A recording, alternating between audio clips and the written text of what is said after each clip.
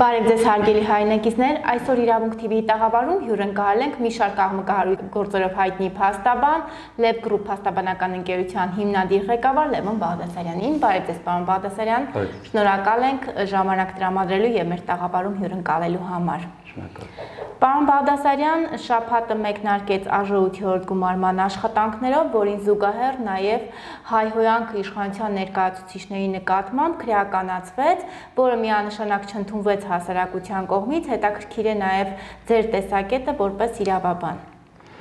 Արդյոք դրա անհրաժեշտությունը կար։ Շատ լավ։ Նախ հայհոյանքի հետ կապված ասեմ, որ ցավոք ցանկանում եմ արձանագրել, որ այսօր ցանկացած ֆորմատով սոցիալական ցանցերից սկսած վերջացրած հասարակական վայրերում հայանքը դարձել է ապրելու կենսաձև եւ միգուցե նաեւ դա է պատճառը որ այլևս հասարակությունը չի ամաչում հայելուց անդասիրակ գործարքներ իրականացնելուց անբանությունից եւ այլն միանշանակ հայանքը դա այնպեսի մի երևույթ է որ արմատապես պետք է կտրել բայց նման ֆորմատով, նման օրինագիծ մշակելով եւ օրենքի ուժ տալով, որ քրերն պետք է հետապնդելի դառնա, ես դիտում եմ դա ոչ իրավաչափ, մեղմ ասած, հետեւյալ պատճառաբանությամբ։ Նայեք, երբ փողոցում անձը հայում է, բոլոր հիմքերը կան քրեական օրենսգրքով նախատեսված խուլիգանություն է կոչվում, խուլիգանության հոդվածով վերջինիս ենթարկել պատասխանատվության եւ բնավ կարիքը չկար որպիսի հայոյանքի համար առանձին օրենք անեին ավելին որքանով ես տեղյակ եմ դա վերաբերում է բացառապես պաշտոնատար անձանց գիտեք նման կարգի օրենքները իմ կարծիքով հարիր են այնպիսի երկրներին որտեղ ասենք միապետություն է որտեղ ոժն է ղեկավարում իր նազիր վեզերներով Հայաստանը սոցիալական պետություն է եւ ցանկալի չէ որպիսի օրենք օրենք մի օրինագից դառնա օրենք որը լոկալ իմաստով պետքա գործի, այսինքն պետքա գործի բացառապես պաշտոնյաների համար։ Ավելին ես հակված եմ, որ նման դեպքում ամենահանդուրժողը երկրում պետքա լինեն պաշտոնատար անձիկ պաշտոնյաները եւ օրենքը, եթե մենք խոսում ենք օրենքի դիկտատուրայից եւ նաեւ վարչապետը նախընտրական օրերին օգտագործեց այդ տերմինը, եթե մենք փորձում ենք որպես երկրի օրենքի դիկտատուրա, պետք է բացառապես գործի հավասարապես բոլորի համար։ Եվ անգամ եթե մի փոքր պետքա տարբերություն լինի, ենել իօգուտ հասարակության, տվյալ դեպքում կրկնում եմ իշխանություն ինքը պետք է հանդուրժող լինի, ոչ թե իր համար օրենք անի, որ հայողները պետքա քրեն պատասխանատվության ենթարկվեն։ Գիտեք, ես ցանկանում եմ արձանագրել, որ պետք է ունենալ այնպիսի միջավայր, որպեսզի միմյանց մղենք, միմյանց բոլորս միմյանց պետք է մղենք դեպի հաղթանակը։ Եվ նաև ցանկանում արձանագրել, որ ճշմարտությունը այնտեղ է, որտեղ կա սեր։ Եթե սերը չկա տվյալ միջավայրում, մոռանանք, որ ճշմարտությունը կարող է լինել ճշմարտություն, ընդհանրապես առերևույթ ճշմարտություն պետք է լինել բխող բոլոր բացական հետևանքներով։ Ամփոփելով միտքս հարգելի Իլոնա, ես կարծում եմ, որ նման օրենքի կարիքը չկար, բավարար էր քրեական օրենսգրքով նախատեսված քրեորեն հետապնդելի հոդվածները, որպեսզի հայյանքի հայյանքը մեր մեջից արմատապես մենք կարողանանք վերացնենք։ Պարոն Բաղդասարյան, լինելով այն եզակի փաստաբաններից, ով մշտապես կանգնած է 4-րդ իշխանության կողքին, հետաքրքիր է նաև ձեր դիտարկումը այն առումով, որ ազգային ժողովը իր աշխատանքները մեկնարկեց լրագրողների ազատ տեղաշարժ ազգային ժողովի միջանցքներում սահմանափակելով, որքանով է սա հա իրավաչափ եւ արդյոք այստեղ մենք գործ չունենք ազատ խոսքի սահմանափակման հետ լրագրողների աշխատանքի գիտեք նախ պետք է հասկանալ ազգային ժողով այդ հաստատությունը այդ ինստիտուտը այդ հաստատությունը ոչ միայն այնտեղ այսպես ասած տիրապետող օգտագործող պետքա լինի ազգային ժողովի падգամավորը իդեմս նաև աշխատակազմի կամ ԱԺ նախագահի տեղակալների, հանձնաժողովի նախագահների եւ այլն, այնտեղ օգտագործող տիրապետողը օրենքի ուժով նաև 4-րդ իշխանությունն է եւ ցանկացած սահմանափակում հղի է բացական հետևանքներով։ Նայեք, չորրորդ իշխանության համար օրենքիժով դրված են խաղի կանոններ, էթիկայի նորմեր։ Եվ այն դեպքում, երբ լրագրողը պայմանական ազգային ժողովում խախտի այդ էթիկայի նորմը, դրա համար թող ենթարկվի պատասխանատվության։ Բայց սահմանափակել լրագրողի գործառույթները ազգային ժողովի շենքում ես դա դիտում եմ մեղմ ասած ոչ իրավաչափ եւ դրա բացական հետևանքները կարծում եմ շուտով հանրությունը կգա։ Պարոն Բադասարյան, սրան զուգահեռ վստահ եմ տեղյակ եք, գուցե ուսումնասիրման փուլում եք այնուամենայնիվ, որ հայաստանյան մի շարք առաջատար ընդդիմադիր լրատվամիջոցներ հայտնվել են ԱՄՆ դրամաշնորներով սնվող մեդիայեմ կայքի գրաքննության, այսպես ասած, թիրախում, որի արդյունքում ընդդիմադիր լրատվամիջոցների նյութերի տարածումը Facebook-ում տարածումը արգելափակվում է Facebook-ի միջոցով։ Սա ինչքանով է իրավաչափ, ինչ պետք է անել լրատվ լրատվամիջոցները այս դեպքում։ Ըստ էության դա գնահատման խնդիր է, դժվարանա միանշանակ պատասխան տամ, բայց ինչու՞ չէ պետք է նաև նայել խտրականության, դիտարկել խտրականության դիրույթում այդ խնդիրը, որ եթե այո կան նեգատիվ սուբյեկտիվ բայեր, ապա արկա է խտրականությունը եւ դա անթույլատրելի է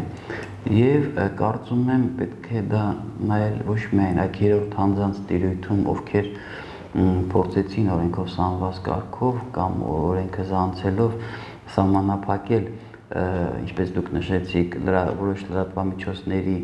մուտքը Facebook, այլ նաև պետքա կարծում ունենալ Facebook-ի տիրույթում, միգուցե հենց Facebook-ի կողմից կա նաև առերևույթ խախտումը, իրավունքի խախտումը բխող բոլոր իրավական հետևանքներով։ Այսինքն ամփոփելով միտքս, գլոբալ առումով պետք է նայել հենց ոչ միայն երրորդ հանձնած գործողությունների, այլ նաև երրորդ հանձնած գործողությունների հետևանքով Facebook-յան գործողությունը, որով առերևույթ, ինչպես նշեցիք, խախտում է որոշ լրագրող որոշ լրատվամիջոցների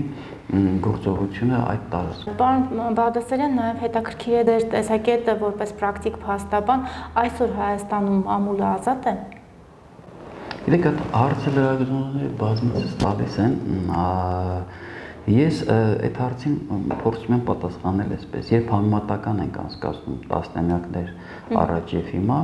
միանշանակ առաջընթացը երևում է, բայց միևնույն ժամանակ այս վերջի տարիներին, ինչու՞ չէ, միտում եմ տեսնում որոշակի մամուլը լրացնելու հետ կապված որոշակի անօրինական, առերուտ անօրինական գործառույթներ, ավելին աննախադեպ քանակով դատական հայցեր պաշտոնատար անձանց կողմից, որով փորձ է արվել լրացնելու մամուլը։ Ավելին իմ պրակտիկայում վարույթում եղել են գործեր, եւ պաշտոնատար անձը ոչ միայն փորձել է պատասխանության ենթարկել այն լրագրողին, ով իր կարծիքով աղերս է ունեցել տվյալ պաշտոնատար անձի պատվի առանձնապատության հետ, այլ նաև փորձել է պատասխանության ենթարկել ուղակի մամուլին Նման դեպքեր մենք ունեցել ենք եւ տասնյակներով մամուլին պաշտոնատար անձը դատակոչել էր դատարան միայն նրա համար, որպեսզի սառացնցողի ազդեցությունը կարողանար գործել։ Դա անթույլատրելի է, բայց գլոբալ առումով ես իմ կարծիքն է դա եւ իմպերատիվ եմ ասում, կարծում եմ այո մամուլը ազատ է եւ հարգելի Իրոնա, երբ հենց հիմա այս պահին մենք այս հարթակում նստել ենք եւ զրուցում ենք այնպիսի հարցերի շուրջ, որը ուղղակի աղերս է ունենում նաեւ պետական լիազոր մարմիններ եւ ազատ զրուցում ենք, դա խոսում է նրա մասին, որ մամուլը այո ազատ է։ Ինչու՞ չէ, ինչու՞ չէ, պետք է արցանագրել, որ այո կամ բացեր, որը ենթակա է շտկելու եւ ամեն ինչ։ Պարոն Բաղդասարյան, ուզում եմ անդրադառնանք նաև այսօր քիչ առաջ միջև հաղորդումը սկսել է, ես հետևելով ձեր էջին նկատեցի մի մի հետ մի այսպիսի գրառում, որտեղ դուք անդրադարձ եք կատարել հայաստանյան գիշերային մայրուղիների չլուսավորվածության խնդրին եւ ինչ ինչքանով էր սա հրատապ եւ ինչքանով էր սա արդիական, ինչու եմ այս հարցը հնչեցնում, հաշվի առնելով, որ մենք օրեր առաջ ականատես եղանք Սևան մայրուղի հա, հատվածում, հա, այդ մայրուղիում բավականին սարսափազդու վթարի, որի արդյունքում մի կնոջ մարմին մասնատվել էր, մի մասը ընկել էր ճանապարհի մի հատվածի, մյուսը մի հատվածում, հա։ Դուք ձեր գրառման մեջ նշել եք, որ պետք է լինեն իրավական հետևանքներ այս առումով, թեև պատասխանատու մարմինները ըստ էության դա ընդհանրապես ընկալեցին որպես սովորական մի դեպք եւ անցանք առաջ, հա։ Խնդրում եմ նաեւ անդրադառնալ որպես իրավաբան այս խնդրին եւ ինչը պետք է անել, հատկապես ինչպես դուք եք ձեր գրառման մեջ շատ ճիշտ նկատել, հատկապես այս շրջանում, երբ ամառվա հանգիստ է եւ մարդիկ այդ մայրուղիներով շատ ավելի հաճախ են երթևեկում, ինչ անել, որpիսի այդ դժբախտ պատահարներից հնարավորինս խուսափել, պարոն Բաղդասարյան, իրավական առումով ինչ է անհրաժեշտ։ Ճիշտ եք նկատում, հարցը գտնում եմ բավականին հրատապ եւ պետական լիազոր մարմինները, այդ թվում նաեւ բարձր դուրի դեմս վարչապետի ունեն պարտավորություն արագ այս խնդիրները լուծելու։ Գիտեք, այն որ Հայաստան այսօր պատերազմից հետո վերքերի մեջ այն որ Հայաստանում գումարի հետ կապված խնդիրներ կա որոշակի ֆինանսական խնդիրներ կան, որ հրատապ հարցերը չեն լուծում, բայց կան հարցեր, որոնք անապահ պետք է լուծել։ Դուք պատկերացրեք եք մայրուղի ծանրաբեռված մայրուղի, նկատի ունեմ Սևան Երևան մայրուղի մասին է խոսքը, եւ յուրաքանչյուր կողմ կարծես 3-3 շարք, 6 շարքով մեքենաները գնում են եւ ճանապարհը լուսավորված չէ։ Հաջորդը այդ ճանապարհի կողքը, ինչպես գիտեք, կա բնակավայր, նաև մարդիկ որոշակի բիզնես են անում, բացարձակ բացակայում են համապատասխան վերգետնա անցումները։ ո՞նց եք պատկերացնում, այդ մարդիկ պետք է անցնեն։ Մեքենաները այնտեղ թույլատրելի արագությունը մինչև ժամում 100 կմ/ժ արագությունով երթվեկում են 6 շարքով։ Եվ գումարած նաև գիշերային գիշերային ժամանակ լուսավորվածություն չկա։ Ու այստեղ ես միանշանակ դիտում եմ, որ անկախ հնանից պետությունը իշկանովա քյասիպ, իշկանովա հարուստ, դա չեմ էլ կարծում մեծ գումարների հետ է, թող համեմատեն ապարքեվավճարների իշկանա դե դե իշկան ծախսալը, դա միջպետական մայրովի, որ եկան ռեժիմով լինում են վրաերթեր, լինում են ավտովթարներ։ Ու ցավոք սրտի նախաքննության մարմինը կամ հետաքննության մարմինը մեխանիկական աշխատանք են կատարում, արագ գնաց, ցածր գնաց, քաղաքացին թույլատրելի տեղով գնաց, թույլատրելի տեղով չգնաց, բայց ոչ մեկ չի հաշվի առնում լուսավորություն կար թե չկար ինքս եմ երթևեկել օրեր առաջ գիշերով եւ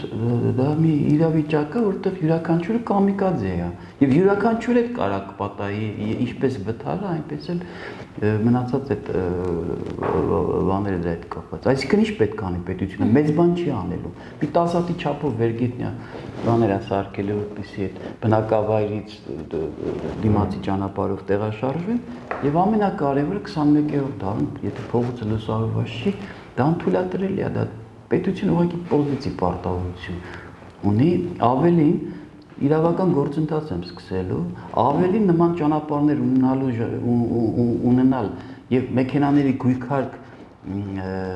սահմանելը եւ պարտադրել որպեսի վարտը վճարի, դա եւս անթույլատրելի է։ Գիտեք, թողենք որ մեր ճանապարհները բավականին վատ են կառուցված, ինչ որ տարիների ընթացքում չի վերանորոգվել, դա լրիվ հասկանալի է, նորմալ է։ Բայց երբ այդ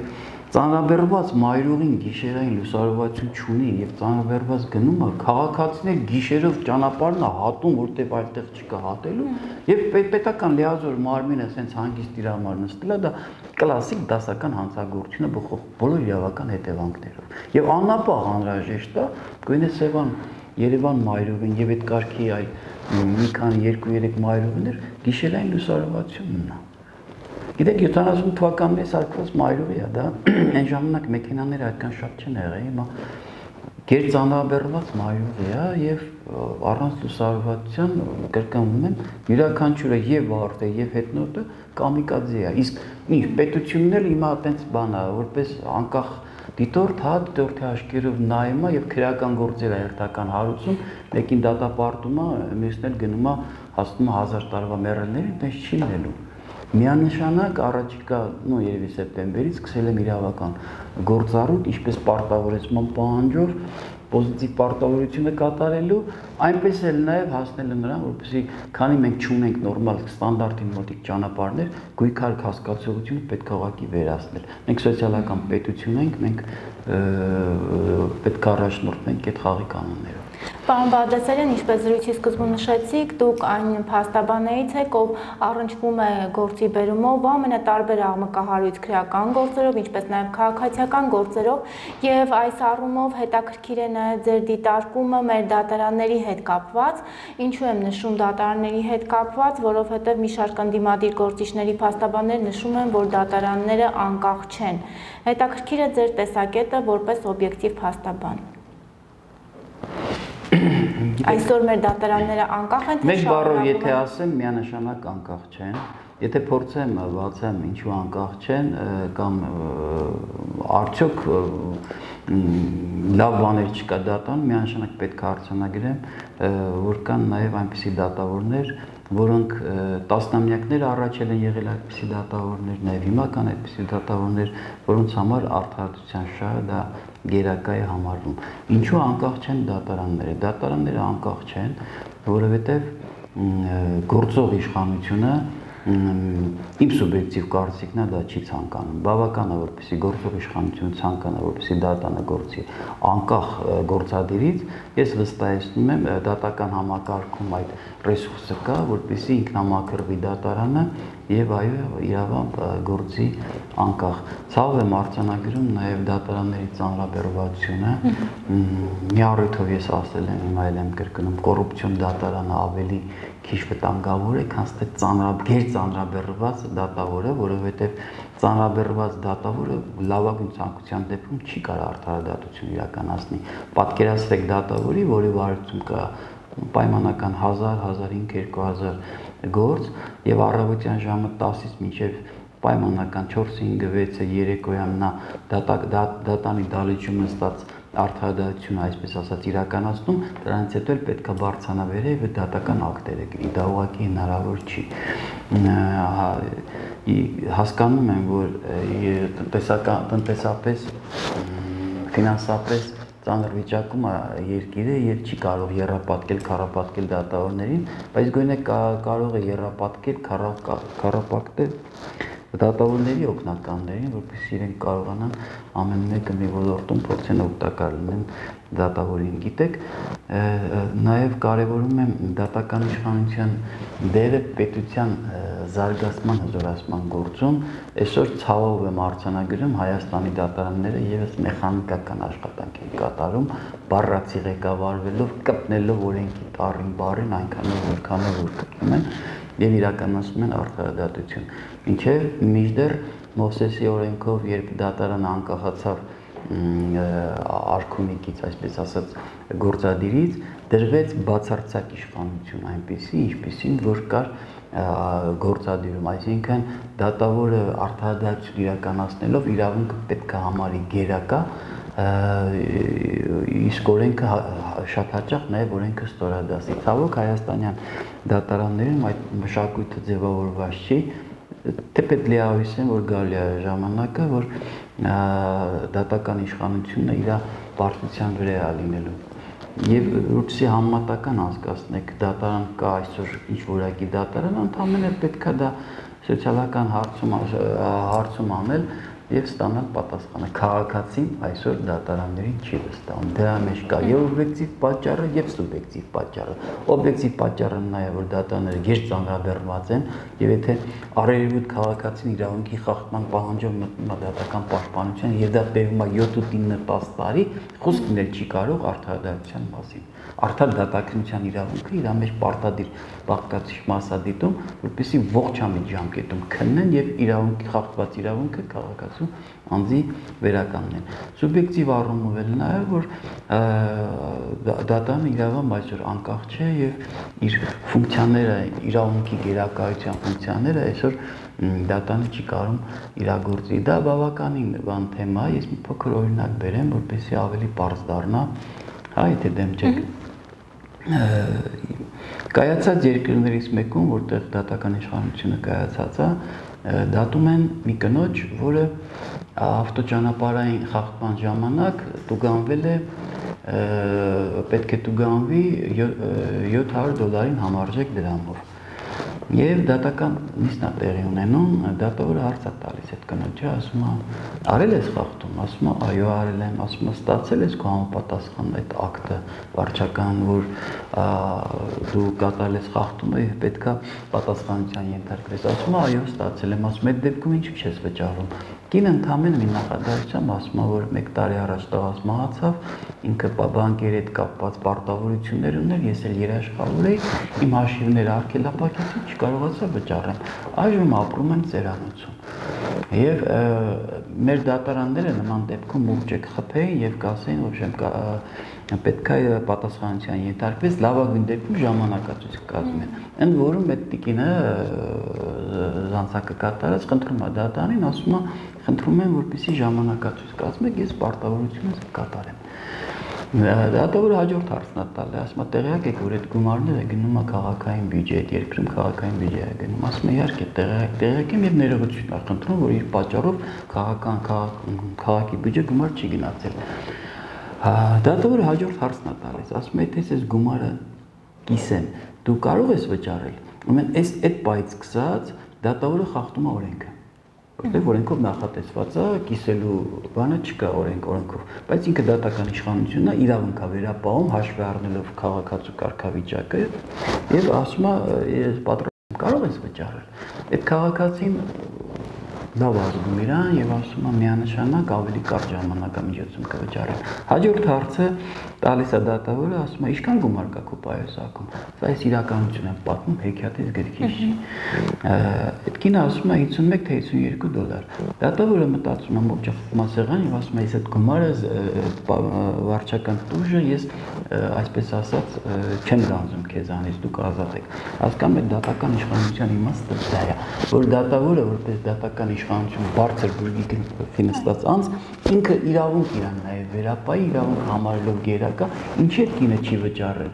չի վճարել որտեղ տղան մահացել է իր հաշիվները արկելապակել են դրանից հետո լիքը խնդիրներ է եւ հենց դատական իշխանության իմաստը դա է որ այդ բայից հետո այդ ավելի ուրիշ ֆորմատով անայելու այն երկրին, որտեղ ինքը ապրում է։ Եվ այդպես օրինակները, բանը, մեր մոտ նման բան չեք տեսնի։ Մի առիթով ես ասել եմ, որ չի կարա Հայաստանում բացարձակ անձիկ չեն կարող Հայաստանում պարտավորությունները բանկերի նկատմամբ չկատարեն։ Կա դրա օբյեկտիվ պատճառ, պետք է մանգալ օբյեկտիվ պատճառ եւ քաղաքացուն օգտակար լինել, որովհետեւ դե դու պետություն քաղաքացուն այդ հարցերով օգտակար չես լինում եւ դատանի կողմից ամոք չխփում է նրան սարկում է օրենքով ողջ, այդ քաղաքացին բավականին մեծ վտանգ է ներկայացնելու երկրի համար։ Առաջինը ինքը որպես օրենքով ողջ կամ գնալի է արտերկիր աշխատի, բերի բանկային պարտավորությունները փակի։ Մյուս տարբերակը լինելի է նա, որ նա հանցագործություն անելու, որպեսզի կարողանա ընտանիքը պայի, եւ երրորդը լինելի է նա, որ գնալի է ձեռը բարձի պետությանը, որ աղերսի պետական աջակցություն, ութական աջակցություն։ Ահավասիկ սան գլոբալ հարցեր են, իսկ պետություն առանց կայացած դատական իշխանության չի կարողանալու այդ խնդիրները լուծելու։ Դատանին պետք է հնարավորություն տալ, որպեսզի դատանը գործի որպես դատական իշխանություն, ոչ թե պատժիչ օղակ, ոչ թե մեխանիկական աշխատանք կատարող, այլ մի մի ինստիտուտ, որը ունակ եւ ընդունակ է կանգնելու պետության կողքին եւ պետությանը զորացնել։ Պարոն Բադասարյան, հայտնի է, որ նոյեմբերի 9-ի հայտնի համաձայնագրի շրջանակներում պետք է բացվեն նաև կոմունիկացիաները Նախիջևանով, Թուրքիա, Ռուսաստան, հա։ Այս առումով շատ քաղաքական գործիչներ, տնտեսագետներ խոսում են քաղաքական, տնտեսական շահերի եւ վնասների հետ կապված, բայց ոչ մեկ դեռևս չի խոսում, թե այս իրավական առումով որքանով է սա իրավաչափ այդ կոմունիկացիաների բացումը։ Շատ լավ, նայեք առերևույթ կոմունիկացիաների բացումը կազմը դա պետքա ձեռնտու լինի ցանկացած քաղաքացու, այդ թվում նաև ինձ։ Ուղղակի երբ խոսքը գնում է Թուրքիայի, Ադրբեջանի հետ կապված, զուտ իրավական հարթության վրա, որպես իրավաբան, ես ցանկանում արձանագրել հետեւյալը։ Նայեք, իրավամբ, եթե Ստամբուլում այսօր Թուրքիան ստաց խոսում է, որ ասում է ցեղասպանությունը արի հայերի նկատմամբ եւ թուրք պետությունը պետքա դրա համար պատասխանատվություն կրի, հա իրավական հարցության վրա դիտում ես որ անձը տիրապետում է եւ ճիշտ գնահատական է տալիս նույն հաջողությամբ երբ նույն պահին նույն ժամին ասենք Էրզրումում կամ չգիտեմ այլ մի քաղաքում թուրք խաժամուժը, թուրք բաշի բոզուկը հարցակվում է պայմանական քրդական ընտանիքի վրա եւ մեր ումանով կոտորում է նույն ժամանակ եւ իսկ թուրքական պետությունը տալիս է իրավական քաղաքական դիրքորոշում հետեւյալ հետ կապված, որ Ադրբեջանը ինչ ուզում անի, ինչ ուզում է չանի, մեկը այս իր կողմն է լինելու, այստեղ պետքա արցանագրեմ հետեւյալը, որ նման դեպքում նման դեպքում թուրքը մնալու է թուրք, հա, եւ դրա բխող հետևանքները մինչեւ մենք չկարողանանք հասկանանք իրավական քաղաքական հարթության վրա իրենց գործառույթը ինչին է վերաբերում, նման դեպքում կոմունիկացիա գնալ կոմունիկացիաները բացելու ես դա կարծում եմ ոչ իրավաչափ։ Դա իմ իրավաբանի սուբյեկտիվ կարծիքն է։ Հարևանություն են անում հարևանի հետ միանշանակ, բայց միևնույն ժամանակ երբ հարևան կոչվածը գալիս է քո սարի վրա նստում է, եւ քո սարի վրա նստելուց հետո 100 մետրի վրա կա հայկական բնակավայր, որը ահա սարսափի մեջ է, նման հարևանի հետ կոմունիկացիաներ բացելը իմ սուբյեկտիվ կարծիքով հղի կարող է լինել անկանխատեսելի հետևանքներով։ Եվ ամփոփելով զրույցը, պարոն Բադասարյան, կրկին պետք է հարադառնամ ձեր ոչ միայն փաստաբան, այլ հայի տեսակին։ Ես գիտեմ, որ 44-օրյա պատերազմի առաջին իսկ օրերին դուք եւ ձեր որդին միանգամից թողնելով ամեն ինչ մեկնեցիք կամավոր ռազմի դաշտ եւ միջև վերջին օրերը մնացիք ռազմի դաշտում եւ լավագույնս եք տիրապետում այս առումով, թե ինչ էր կատարվում ռազմի դաշտում, ինչ սխրանքների են գնացել մեր հայ զինվորները, մեր կամավորները եւ այս առումով հարցս ուզում եմ զուգորդեմ մեր Բաքվում գերեվարված մեր տղաների հետ մենք տեսնում ենք, որ այնտեղ տեղի տեղի են ունենում դատական գործընթացներ եւ մեր տղաները դատապարտվում են ամենատարբեր պատժամիջոցների 13 հոգի դատապարտվեցին 13 տղաներ դատապարտվեցին 6 տարվա, երկուսը 15 տարվա եւ այդ դատական գործընթացը ըստ էության այսօր էլ շարունակվում է։ Հարցս ձեզ որպես իրավաբան հետեւյալն է, եթե մենք ժամկետային զինծառայողների հետ ունենք գոնե հույս, որ նրանց թեկուս ռուսական կողմի միջնորդությամբ կամ այլ միջազգային կառույցների միջնորդությամբ կկարողանանք ուշ թե շուտ վերադարձնել, այսօր լրջագույն մտահոգություններ ունեն այն ընտանիքները, որոնց Բորթիները, ամուսինները, եղբայրները գտնվում են Ադրբեջանի բանտում եւ այլևս ազատազրկման էին դատապարտված։ Ինչ իրավական հիմքեր ունեն Ադրբեջանը այս առումով եւ նրանց դատապարտելու եւ ինչքանով է հնարավոր նրանց վերադարձը, հա, նկատի ունեմ դատապարտված գերեվարված մեր տղաների վերադարձը այլևս այս դեպքում առհասարակ նրանց վերադարձը հնարավոր համարվում է թե ոչ, որովհետեւ մենք գիտենք, որ անգամ ժամկետային զինծառայողներն են նշում, որ եթե ժամկետային զինծառայողների հետ քիչ թե շատ նորմալ են վերաբերվում ճակերտավոր, ապա մոբի եւ կամավորների տղաների հետ շատ սարսափելի են վերաբերվում։ Մենք ունենք գերեվարված տղաներ, ովքեր վերադարձել են եւ պատմում են այնտեղի դժողքի մասին։ Եվ արդեն հարցական է թե այդ տարիների ընթացքում 6 տարի, 3 տարի ինչ դժողքի միջով են նրանք անցնելու եւ արդյոք այդ դեպքում ազատվելուց հետո ի վիճակի կլինեն վերադառնալ եւ շարունակեն շարունակել իրենց բնականon կյանքը մի փոքր երկար տևեց հարցս երկար ստացվեց այնուամենայնիվ խնդրում էի ձեր դիտարկումը որպես իրավաբան ինչ ճակատագիր է սպասվում մեր տղաներին ովքեր դատապարտվեցին ադրբեջանական բանտում Բաքվի դատարանի հասկանալի իմ դիրքորոշումը հետեւյալն է կամ հարգելի Ադրբեջանը դա ավտորիտար երկիր է եւ նա թքած ունի իրավունքի վրա էլ, իրավաբանության վրա էլ եւ նա դատելու է այնպես ինչպես ինքն է ցանկանում։ Եթե Հայաստանի Հանրապետությունը գտնում է կարծում է այսպես ասած ու ցավոք իմ սուբյեկտիվ կարծիքով այդպես է կարծում, որ Ռուսաստանը, Ֆրանսիան ինչ որ ժամանակակից դեմոկրատական երկրները պետք է ամեն ինչ անեն, որպեսզի գերիներին վերադարձնեն, ցավոք դա չի լինելու կամ լինելու է թերի։ Հայաստանը ինքը պետք է ատամցույց տա, իսկ ատամցույցը ցույց տալը ես լավ իմաստով եմ ասում, պետք է լինի հետեւյալ Հայաստանը պետք է տեր կանգնի իր քաղաքացուն ինքը պետք է պայքարի ամեն միջոցներով եւ իրավական եւ քաղաքական, այդ թվում նաեւ ռազմական որ պայն Հայաստանը սկսեց ատամ ցույց տալ այդ երեք հարթակներում՝ իրավական, քաղաքական, ռազմական, այն ժամանակ Ֆրանսիան էլ կողք կանգնել, Ռուսաստանն էլ կողք կանգնի, մյուսները կանգնեն։ Հակառակ բարագայում մեր եղբայրները եւ երեք ցավալին որ նա Ադրբեջանը մաքսիմալ ձևով մաքսիմալ ձևով պատժային ենթարկում այն հայորդիներին, ովքեր հայորդու տեսակ են, ովքեր կամավորագրվել են եւ ընդամենը ցանկացել են գնան իրենց ընտանիքը պահեն, որպեսզի չցեղասպանվի։ Նայեք մենք այդ նոյեմբերյան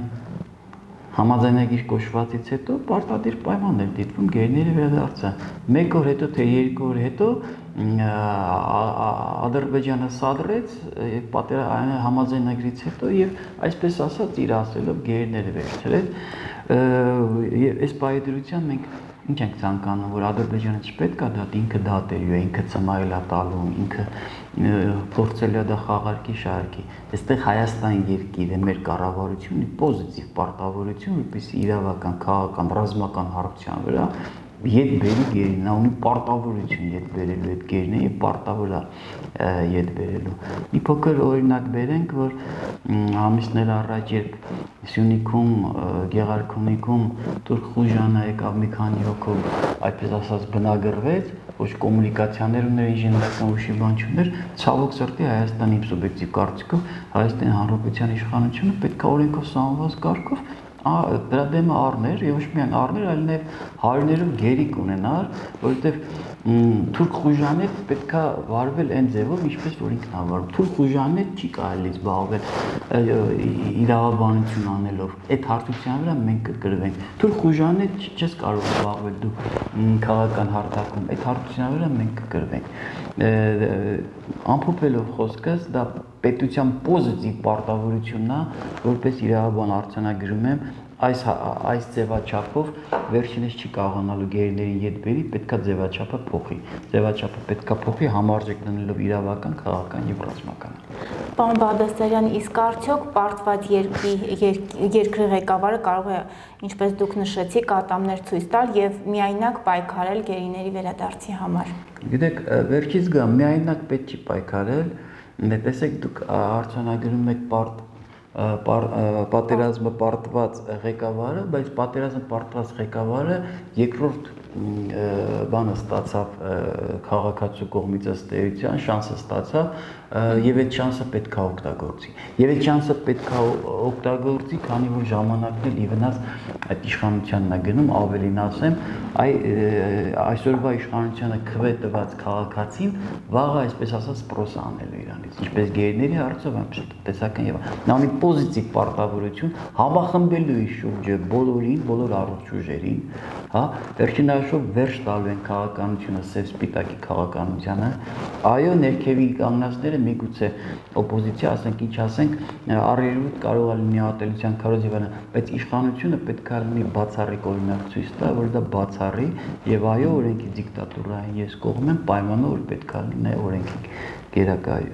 իրավունքի գերակայություն։ Շնորհակալ եմ ձեզանից։